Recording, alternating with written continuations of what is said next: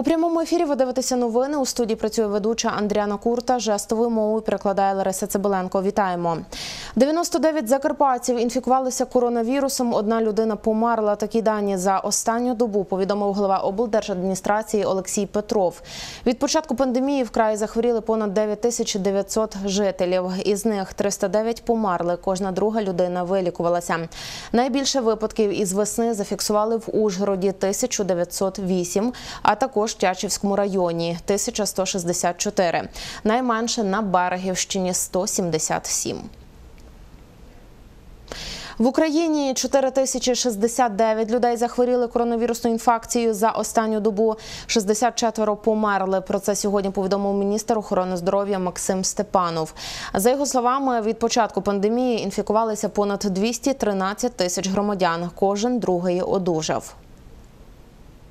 А летальних випадків 4193. За останню добу найбільша кількість підтверджених випадків зареєстрована у Харківській області 450, Дніпропетровська область 266 випадків, Одеська область 260 випадків, Тернопільська область 253 випадки та місто Київ 377 випадків.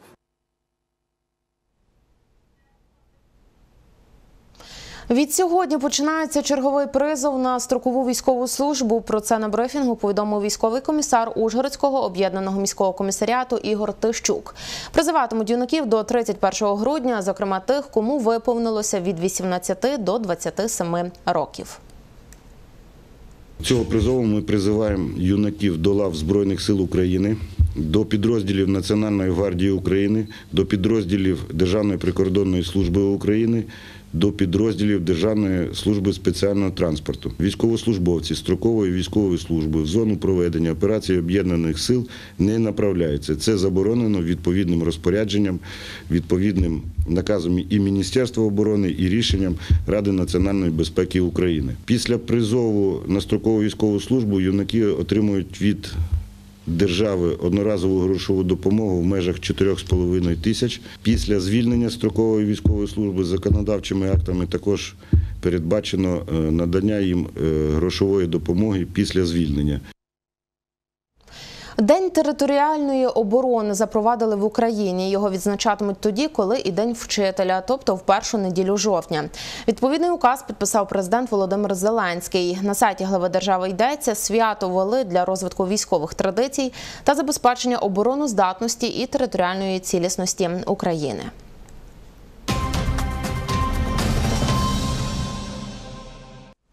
Нелегальних працівників шукали інспектори держпраці в закладах харчування в Ужгороді. Про це Суспільному розповіла головна інспекторка управління держпраці на Закарпатті Маріана Гукс. Каже, такі візити є позаплановими. Учора перевірили два заклади. В одному виявили неофіційно влаштовану працівницю. Більше дивіться в сюжеті. Це кафе ПАП на вулиці Легоцького в Ужгороді. Інспектори управління Держпраці Закарпаття перевірили, чи є там неофіційні працівники. У закладі працювала одна дівчина. Ви брали документи на договір? Ну ви підписували? Ще нічого А скільки підписували. працюєте? А скільки працюєте? Приблизно тиждень працюєте. Сьогодні 30 число, ви з якого десь орієнтовно працюєте? З 11.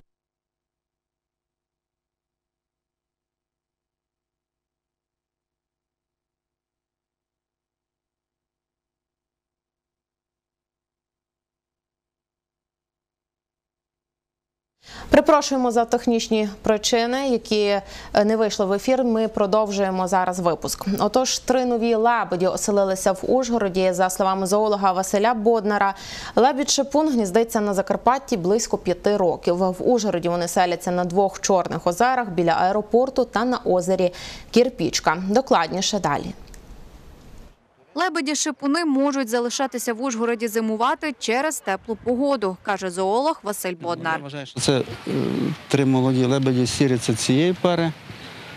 Ну, бо вони е, за рік виростають такі вже великі, як дорослі, так що це, це мають бути їхні. Ну потім вони пізніше вже біліші, дорослішають і видно розбиваються на пари. А це цьогорічні. Вони собі такий теплий період шукають корм тут, такі рослинність, водорості. Лебеді прилітають на річку Уж, бо тут їх підгодовують. Очевидно, їх люди почали прикормлювати, і вони частково перебралися сюди. Краще людині не втручатися взагалі. Тобто не треба прикормлювати, то, тому що потім вони привикають. Якщо різко призупинити прикормлювати, а буде якесь похолодання, вони потім можуть ну, замерзнути і загинути. Потім міграції можуть бути, і можуть бути не лише наші місцеві лебеді, а й інші. На зиму може лишатися і ці, а можуть бути вже і інші, північніші. Ці наші можуть відкочовувати південніше, але це треба їх кільцювати, щоб ми знали точно, що це місцеві чи ні. Молодих шипунів зоолог Василь Боднар бачив також на річці Тисі та озерах Сальва на Виноградівщині. Ірина Олег, Андрій Гісем. Новини на Суспільному. Отож, повертаємося до матеріалу, який ви не змогли побачити через технічні причини. Отож, нелегальних працівників шукали інспектори держпраці у закладах харчування в Ужгороді. Докладніше дивіться далі. Це кафе ПАП на вулиці Легоцького в Ужгороді. Інспектори управління Держпраці Закарпаття перевірили, чи є там неофіційні працівники. У закладі працювала одна дівчина. Ви брали документи на договір? Ну ви підписували? Ще нічого. А скільки працюєте? А скільки працюєте? Приблизно тиждень працюєте. Сьогодні 30 число, ви з якого десь орієнтовно працюєте? Десь з 11. В закладі знаходилася тільки одна особа, яка сказала, що вона на даний час документи здавала, але не підписувала ні трудовий договір, ні цивільно-правовий договір. Відбиралося письмове пояснення від неї, як вона тут працює.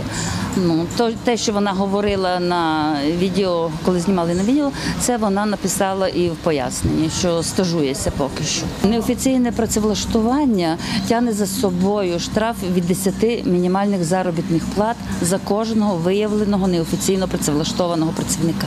Інспектори телефонували до власника закладу. Він повідомив, що прийти не зможе, тому вони надіслали чоловіку лист про перенесення перевірки. Переноситься в зв'язку з тим, що відсутній об'єкт відвідування. Переноситься на дату, коли він зможе з'явитися. Буде надіслано йому заказним листом, і на, на дату, яка буде вказана у вимозі, він має надати е, документи, які будуть вказані, і з'явитися до нас в інспекцію. Ну, якщо він не з'явиться, тоді буде е, е, складена перешкода. Там йде е, друга санкція і буде вирішуватися. Ну, протокол буде складений як не як перешкода. Перевірку цього закладу перенесли на 5 жовтня. Руслана Гостюк, Леонтій Николишин. Новини на Суспільному. Штурмове попередження оголосили на Закарпатті. Про це Суспільному розповіла сьогодні синоптикиня обласного центру з гідрометеорології Василина Блох. 1-2 жовтня на річках центральної та західної частин краю буде підвищення рівню води до понад метра. На річках східної частини області отримається підвищена водність. До кінця дня на Закарпатті буде дощ. Таку ж погоду очікують і завтра. Опади можуть припинитись із суботи. Вже на третє число ми очікуємо теплий день і без опадів. Температура буде вночі 7-12, в день 19-24, ну і на високогір'ї 14-16 градусів тепла. Але з четвертого знову вночі ще опадів не буде, а в день вже будуть дощі, поки що слабкого характеру. На п'яте, на шосте дощі. Цим завершуємо. Дякуємо, що були з нами. Наступний випуск о 19-й. Не пропустіть інформаційну годину на Суспільному.